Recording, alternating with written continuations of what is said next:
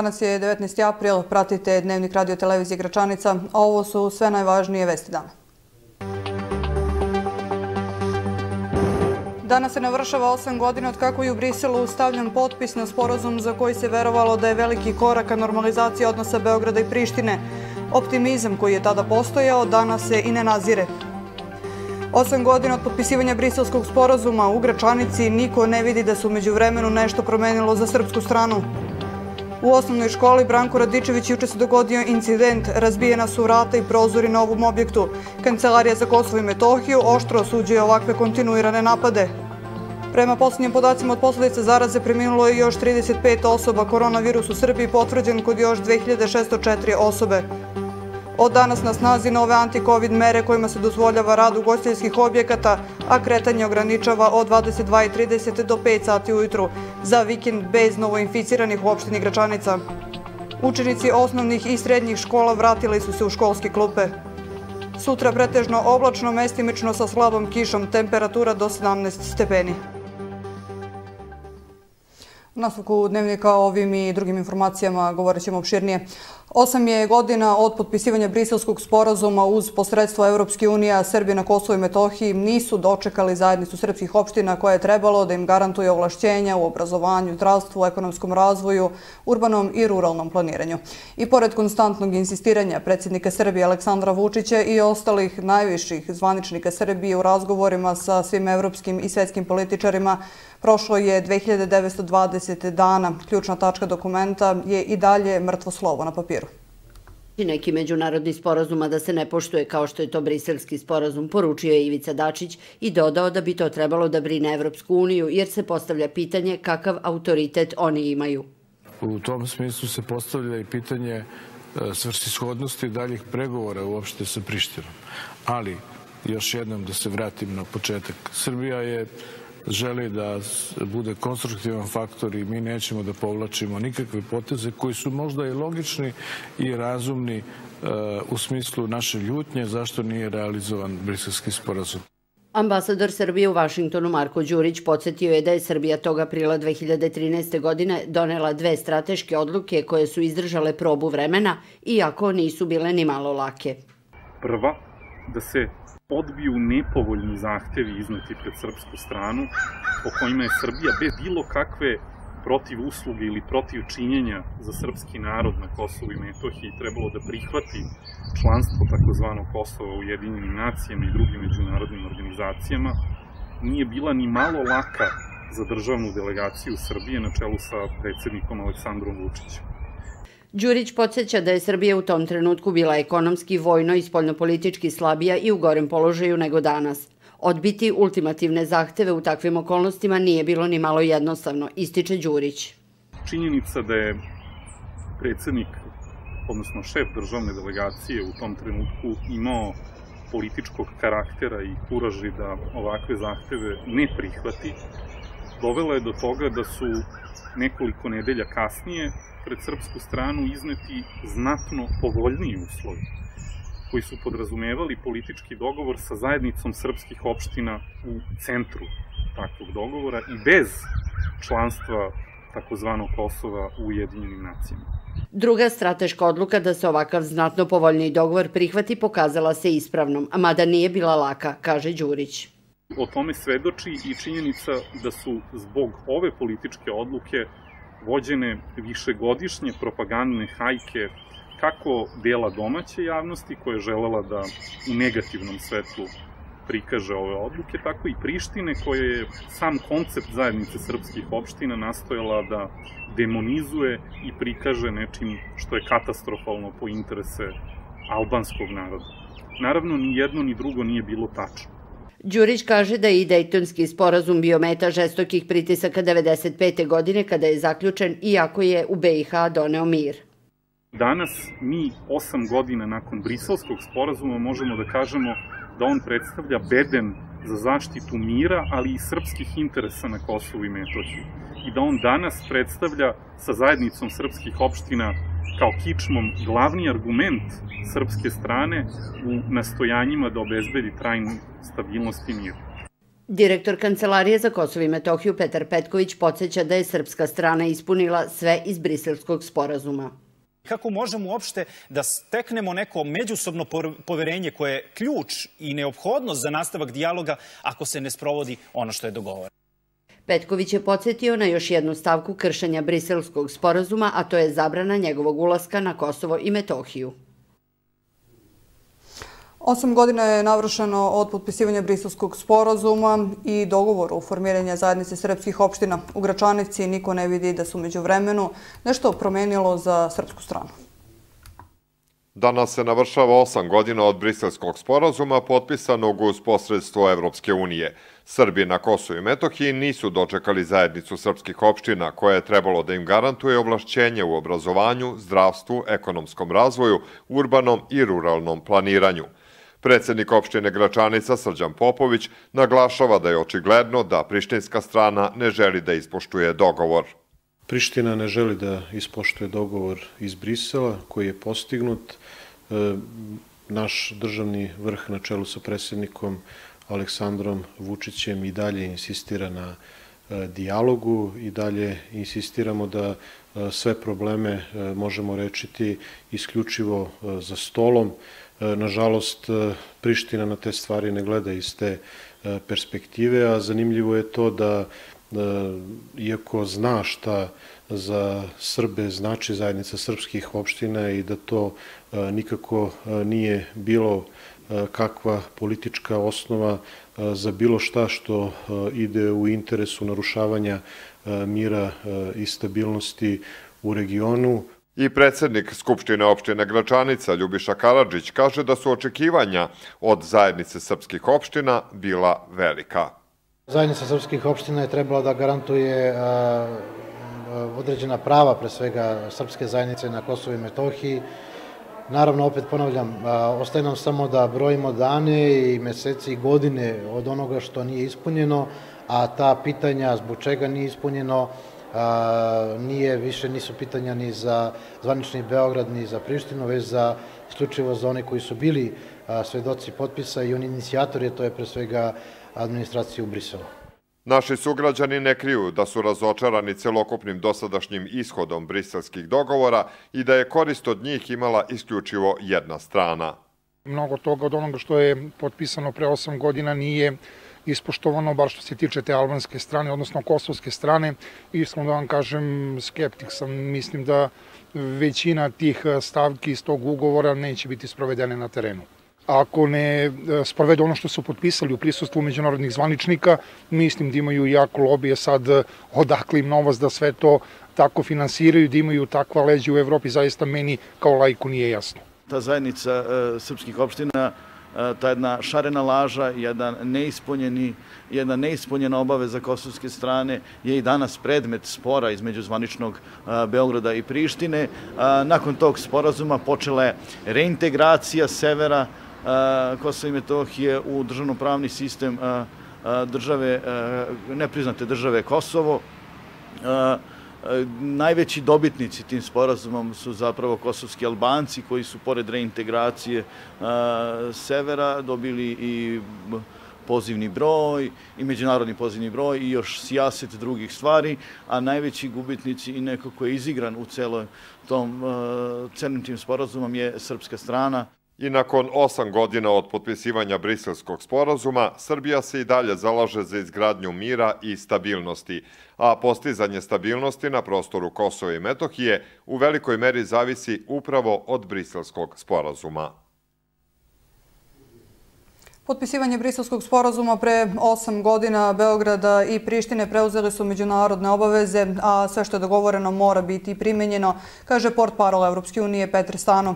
Povodom osme godišnjice od potpisivanja Briselskog sporazuma, Petre Stano u izjavi za Taniju posebno naglašava da Evropska unija očekuje od Kosova da poštoje svoje preuzete obaveze, da će primeniti dogovoreno tim sporazumom. Kosovo je ušlo u sporazum u formiranju zajednice srpskih opština. Sporazum o tome je postignut u dobroj volji svih strana i nikada nije povučen, naglašava Stano.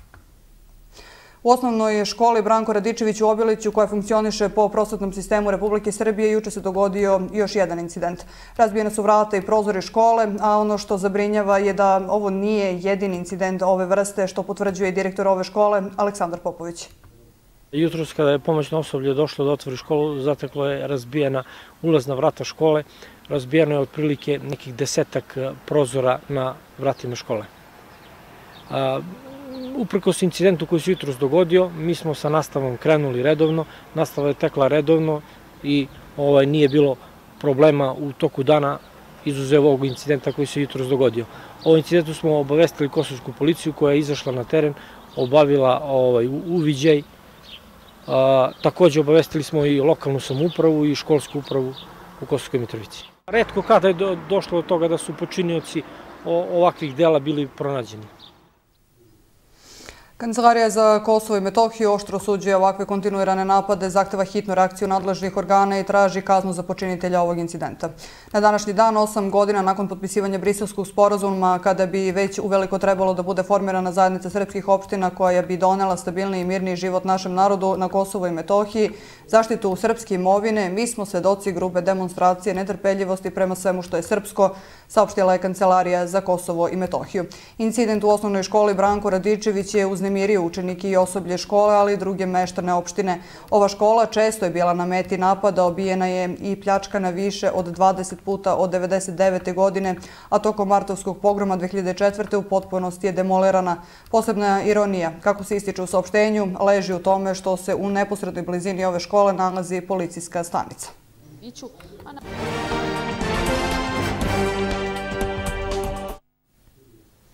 Nakon datog obećanja na kraju prethodnog meseca, ministar za zajednici i povrata Goran Rakić je danas u opštini Klokot položio kamen temeljac za izgradnju kuće socijalno ugroženim porodicama Nisić i Dimić. Kamen temeljac je prvo položen u Klokotu za izgradnju novog doma porodici Nisić, a zatim i u selu Mogila u ovoj opštini za izgradnju nove stambene jedinice za višečlanu socijalno ugroženu porodicu Dimić. Ono što smo pre 20 dana obećali, danas i realizujemo. Porodice Nisić i Dimić će vrlo brzo moći da se usele u potpuno opremljene kuće. Zadovoljstvo mi je kada mogu da na ovaj način usrećim porodice, jer će u novim domovima i deca imati svoje sobe za igru i učenje. Danas je veliki dan ne samo za Nisiće i Dimiće, već i za mene, jer sreće na njihovim licima mi govori da smo na pravom putu, istakao je ministar Rakić nakon polaganja kamena temeljca. Bivši pripadnik OVK Pjetar Šalja danas je po prvi put izveden pred sudiju specializovanih veća Kosova sa sedištem u Hagu radi izjašnjavanja o krivici po optužbama koje mu se stavljaju na teret za zločine u Kukešu u Albaniji 1999. godine. Šalja je rekao da nije počinio ni jedno krivično delo, to jest da nije kriv po tačkama optužnice kao da su one smešne. Statusna konferencija o ovom slučaju zakazana je za 23. april u 11 sati. Šalja ostaje u pritvoru, ali ima pravo na prigovor koji njegov branilac treba da podnese u pisanom obliku. A povodom odluke ugledne Evropske nevladine organizacije za kulturnu baštinu Evropa Nostra od 8. aprila 2021. godine uvrsti manastir Visoki Dečani u ovogodišnju listu sedam najugroženih spomenika kulture u Evropi, episkop Raško-Prizrenski Teodosije saopštio je da kosovske institucije, albanske organizacije civilnog društva na Kosovu, među kojima su neke od ranije poznate po ekstremnim nacionalizmu i deo medija danima sprovode organizovanu kampanju. Cilj ove kampanje jeste da se Evropa Nostra prikaže kao organizacija koju su nedavno instrumentalizovali vlada Republike Srbije i Srpska pravoslavna crkva, čime se dodatno još više ugrožavaju svetinje naše crkve na Kosovu i Metohiji. Posebno manastir Visoki Dečani navodi se u saopštenju episkopa Teodosija.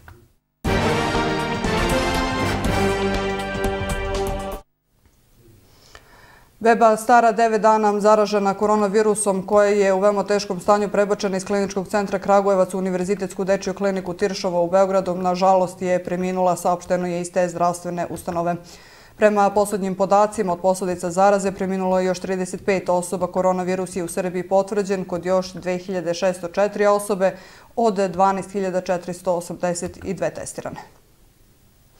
Kako je predsjednik Aleksandar Vučić i najavio, danas je u Srbiju stiglo još 211.770 doza Pfizer-BioNTech vakcina protiv koronavirusa, saopštilo je Ministarstvo zdravlja. To je najveća pojedinačna isporuka Pfizerove vakcine Srbiji do sada.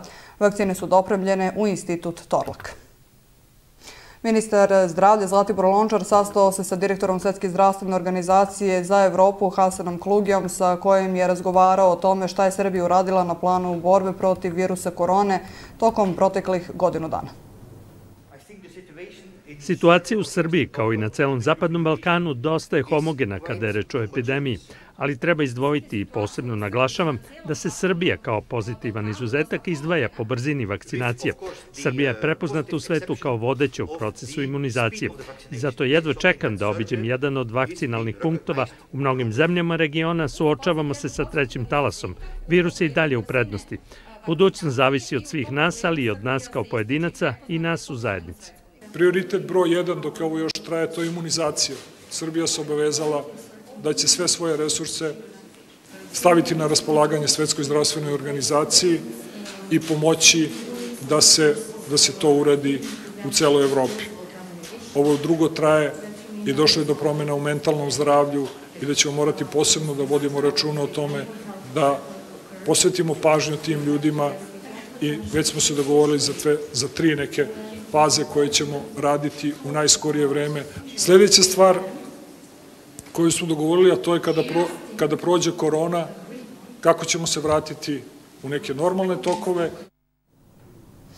U Srbiji od danas važe nove mere kriznog štaba. Đaci su ponovo u klupama, a tokom vikenda dnevno je bilo više od 2000 zaraženih. Imunolog i član kriznog štaba Srđe Jangović rekao je da to što u bolnicama vidimo više dece pozitivne na koronavirus treba da nas zabrine. E, dva su objašnjenja.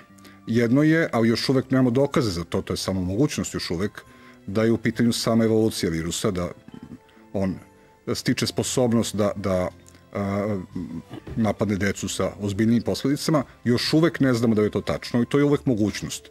Drugo objašnjenje, jednostavnije, koje uvek stoji, je da što je više zaraženih osoba, a svih uzrasta, a, to će pre virus pronaći i one osetljive.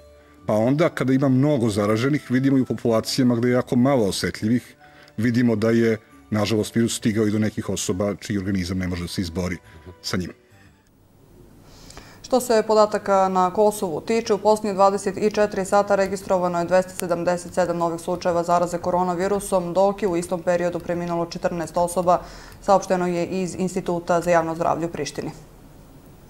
Opština Gračanica obaveštava javnost da su od danas na snazi nove anti-covid mere kojima se između ostalog dozvoljava rad ugostiteljskih objekata, a kretanje ograničava od 22.30 do 5 sati ujutru. Za vikend bez inficiranih u opštini Gračanica. Novim merama rad ugostitelja omogućen je do 22 sata, a oni koji budu imali posebne dozvole moći će da rade i nakon 22.30. Policija u Gnjelanskom regionu je za proteklih 12 dana, koliko su na snazi anti-covid mere kosovske vlade, izrekla 1310 kazni. Samo za proteklih 48 sati izrečeno je preko 250 kazni u Gnjilanskom regionu, izjavio je za radio televiziju Puls Ismet Hašani, port parol Kosovske policije za region Gnjilana. Moramo biti iskreni da prošle mere bile su malo oštrije nego ove sada, a i uprkos da su dosta bile uvažene od strane građana, ipak ima dosta kazne. Samo na zadnja dva dana imamo više od 250. Ko su obično bili na, na udaru ovaj, e, ovih mera? Uglavnom bez maske, pa i lokali su tečeni za vreme kada je bilo zabranjeno raditi, a više nisu bile, bilo kažnjeni za vreme kada je bilo zabranjeno kretanje. Znači od 22 do 5 sati ujutro za taj period bilo ko da je ufačen, a nije imao neki veći razlog za kretanje na ta vreme kažnjeni. Kosovska vlada na sastanku koji je održan u ponedeljak veče predstavila je modifikovani set anti-covid mera, pa je tako sada građanima dozvoljeno da se kreću i 30 minuta duže, odnosno zabranjeno je od 22.30 do 5 sati ujutro. Osim hitnih slučajeva kao što su traženje i pružanje medicinske pomoći i kupovina lekova. Predužen je za pola sat, verovatno to da je mogućnost ljudima koji radi da se vraća od, od radna mesta do kuće i suprotno, a produžen znači od 22.30 pa do 5 ujutro. a ostale mere su propuštene, znači gastronomija, sve e, hotelijerni lokali rade do 22 i 30 zapravo, škole isto, veći trgovinski centri i uglavnom su propuštene te mere. Zabranjena su sva okupljanja više od 30 ljudi. To se odnosi i na sastanke, seminare i treninge. Bez obzira na broj osoba, zabranjeno je organizovanje i održavanje venčanja i drugih proslava. Učenici osnovnih i srednjih škola na teritoriji opštine Gračanica vratili su se u školske klupe, a nastave će se odvijeti uz poštovanje svih epidemioloških mera. Naša ekipa obišla je osnovnu školu u Miladin Mitić u Lapjem selu. Učenici srednjih i osnovnih škola na prostoru centralnog dela Kosova i Metohije danas su se ponovo vratili u školske klupe. Nakon uvođenja novih epidemioloških mera koje obuhvataju i povratak učenika u školske klupe, po ustaljenim rasporedima sa početka ove školske godine, učenici će se smenjivati na online i redovnoj nastavi, a sve to uz poštovanje svih epidemioloških mera. Prema rečima direktora osnovne škole Miladin Mitić u Lapljem selu Ljubiše Karadžića, rasporedi razredne nastave organizovani su tako da se izbegne veće grupisanje dece, kako bi se izbegla i svaka mogućnost zaražavanja. Nastavljamo i dalje sa online nastavom, poštojući sve one mere pre svega koje je donelo Ministarstvo prosvete, a u cilju da se ne okuplja veliki broj učenika u učionici ili u školi. Pošto su naše odeljenja, sva odeljenja preko 25 učenika, to znači da, će, da su i od danas učenici od 5. do 8. razreda podeljeni u grupe. Grupa A je danas prisutna, grupa B na online nastavi, sutra dan je grupa B prisutna u školi, tako svakodnevno neizmenično. Dok niži razredi, takođe podeljeni u grupama ovde u Lapljem selu, oni rade dve smene u toku dana, znači učitelji rade dve smene u toku dana, prva grupa dolazi od 11, a druga grupa dolazi posle 12 sati. Nove mere, odnosno popuštanje mera, kada je u pitanju odvijanje nastave u školama, doprineće tome da se učenici završnih razreda bolje pripreme i za završne maturske ispite. Probni završni ispit smo imali 9. i 10. aprila. Rezultati, kako ističu predmetni nastavnici, nisu na zadovoljavajućem nivou. Naravno, imamo učenike tu koji su stvarno dobri, koji su to prihvatili svesno, da, da treba, da, treba da, da urade to kako treba, jer to je pre svega proba, proba za, za, za ono što ih čeka juna meseca. Naravno, mi, kao i svake godine, ovo je, ovo je, situacija specifična, kao i svake godine vršimo pripremnu nastavu za učenike iz predmeta iz kojih polažu i nadam se da će ove mere biti još više popuštene kako bi učenici što više dolazili u školu i kako bi radili, radili sa, neposredno sa nastavnicima u učionicama. Kako učenici i nastavnici, tako i roditelji slažu se da je živa razredna nastava znatno efektnija i da će svakako doprineti boljem učenju i angažovanju učenika, naročito sada kada se školska godina bliži kraju. A kako se odvija nastava posle više nedelja online nastave na severu Kosmeta u narednim minutima? Stari osnovci vole što ponovo pohađaju nastavu u učionicama jer su mišljenja da im je tako bolje i više mogu da nauče nego kada imaju online nastavu. Smatram da je bolje da idemo u školu iz razloga što više možemo da naučimo, bolje razumemo nastavnike, jer koliko god se oni trudili da nam pokažu sve online, ipak je bolje uživo. Naravno da je bolje u školi, zato što sada imamo i prijemni i nastavnici su uvek tu da nam objasne ono što nije jasno, to je mnogo teže kada smo online. I pored toga takođe svi smo zajedno, svi se družimo, zajedno smo u učionici i naravno da je mnogo bolje kada idemo u školu. U osnovnoj školi Sveti Sava, uz poštovanje epidemioloških mera po preporuci Ministarstva prosvete Republike Srbije primenjuje se kombinovani model nastave. Deca su podeljene u dve grupe da bi se držala socijalna distanca, da bi bili ispoštovani svi epidemiološki uslovi, tako da ćemo danas krenuti sa grupom A a onda sutra grupa B i tako neizmenično sve, nadam se do kraja školske godine, ako ovi pandemijski uslovi, ova situacija bude dozvoljavala. Što se škole tiče, mi smo radosni jer moram da kažem sve to što smo radili online jeste bilo dobro, jeste bilo u skladu sa propisima koje je donalo Ministarstvo prosvete, ali nekako stanovište škole i svih zaposlenih nastavnika je to da je živa reč, živa reč i da bi deca da deca više znanja usvajaju i upijaju kada su u školskim klupama i kada imaju direktan kontakt sa svojim nastavnicima i profesorima. U školske klupe ponovo su seli i srednjoškolci, a nastava je počela i za studente.